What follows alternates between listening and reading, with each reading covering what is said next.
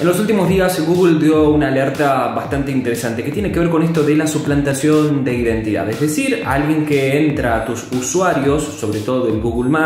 que se está empezando a dejar de utilizar para, para, usuarios particulares y está quedando un poco más para empresas, pero hay algunos países en el que se sigue utilizando esta aplicación y esta opción del buscador más importante y de uno de los desarrolladores de aplicaciones más importantes del mundo. En Estados Unidos se dio a conocer varios casos de suplantación de identidad. En este contexto, lo que ha decidido la empresa es en reforzar los controles de seguridad en materia de preguntas, en materia de resguardo, de vinculación del historial entre el navegador y lo que queda almacenado siempre y cuando vos decidas que así debe ser desde tu teléfono celular, desde tu sistema operativo Android o incluso desde tu computadora. Hoy vamos a hablar en este bloque de toma nota justamente de eso, de los avances en seguridad que ha determinado que Google sea otra vez una de las empresas más confiables. A lo largo de este, de este, tiempo, la innovación, los nuevos celulares, las nuevas aplicaciones, sobre todo eso, las nuevas aplicaciones, las nuevas formas de comunicarnos e incluso la cuarentena con eh, los agregados que esto conlleva, la utilización de aplicaciones de videollamadas como lo fue Zoom, con un sistema de seguridad muy criticado,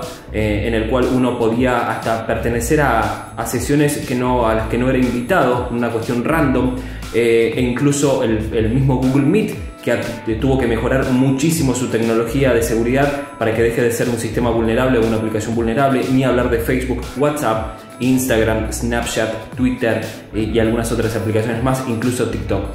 En este último en menor medida, también es cierto y hay que aclararlo. Lo que ha decidido Google es tratar de reforzar la cuestión interna, es decir, cuando vos te creas una cuenta, la empresa adquiere cierta información tuya, en el buscador también, eh, esto es algo, no, es más nuevo, lo hemos discutido un montón de veces con respecto a lo que tiene que ver con la privacidad de los datos y cómo se divulgan a través de las redes, pero esto es una discusión absolutamente aparte y que ya entraremos en algún momento. Lo que ha decidido Google es proteger tus datos, ya hablamos de esto en algún bloque anterior, con una manera de refuerzo. Bueno, esto que en principio iba a ser solamente una prueba y va a estar en formato beta, ha llegado y es una realidad. No sé si les ha sucedido a ustedes, pero cuando intentan ingresar a Google ya sean de Google, el mismo Google te avisa que prontamente va a caducar y que lo que vas a tener son otras opciones, no el Google porque eso va a quedar directamente para cuentas empresariales o cuentas eh, que se dedican a otra actividad, no en la particular. Y esto tiene que ver con la gran cantidad de cosas que almacenaba. La propia nube, eh, nube de Google el Google Drive, el Google Fotos, eh, aplicaciones que mucha gente se ha quejado por la vulnerabilidad y por el fácil acceso y el hackeo que, existían en esas opciones. Hoy lo que va a realizar Google a medida que vos vayas avanzando en la utilización de sus aplicaciones y sus herramientas es eh, el sistema que es muy tradicional, que es muy básico, pero que es muy efectivo, que son las preguntas. Es decir, no sé si les ha pasado a ustedes, han creado una cuenta de mail y una de las opciones es una pregunta secreta en el caso de que te olvides la contraseña. Bueno, hoy eso está mucho más avanzado y lo que hace Google es utilizar incluso el, eh, parte del material que vos has eh, dispuesto a almacenar en tus cuentas para, realizarte este tipo de preguntas, como si eh,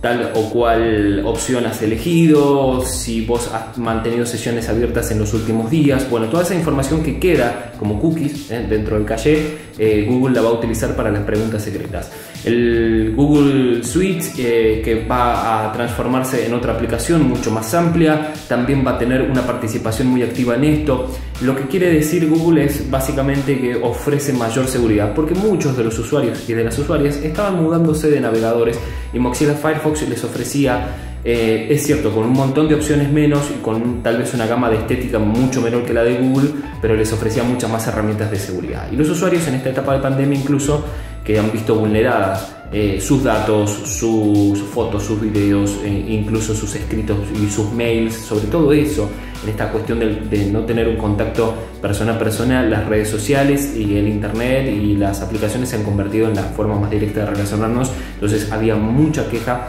había mucha preocupación. Google determinó que es hasta acá, no, no vamos a ceder y vamos a ponerte cinco barreras antes en el caso de que nosotros detectemos, dice Google, por supuesto, no yo, eh, que tu cuenta ha sido vulnerada o que eh, iniciaste sesión en algún lugar extraño que no es el común o no corresponde al IP de tu computadora o a tu teléfono celular. En este sentido, Google siempre va a realizar alertas previas, nunca lo va a hacer de prepo, vos vas a tener muchas opciones para poder ingresar muy fáciles e incluso con datos que vos mismo suministres al momento de hacerte una cuenta. Ya no vas a tener que tratar de acordarte el nombre del perro, el, el código de números de 10 que pusiste, sino más bien Google te va a guiar en esta nueva etapa para que tengas eh, fácil, acceso e incluso ellos utilicen a través de su propio algoritmo eh, formas para que puedas ingresar. Es por eso que este bloque está destinado a, no te preocupes, vas a encontrar que cuando quieras ingresar a Google Más vas a tener algunas paredes previas para llegar. Cuando quieras almacenar fotos en Google Fotos vas a, van a aparecer previos contratos en los que vas a tener que estar de acuerdo con las políticas de seguridad o no.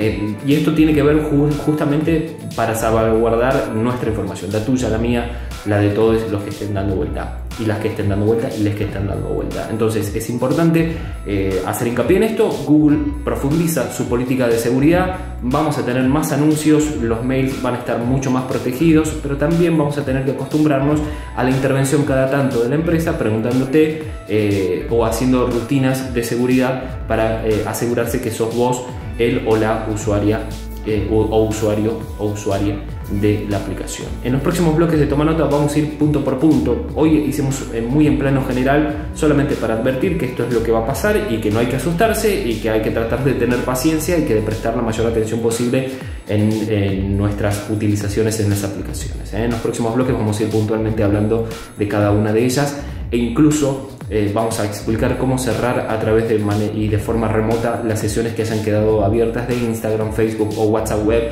que comúnmente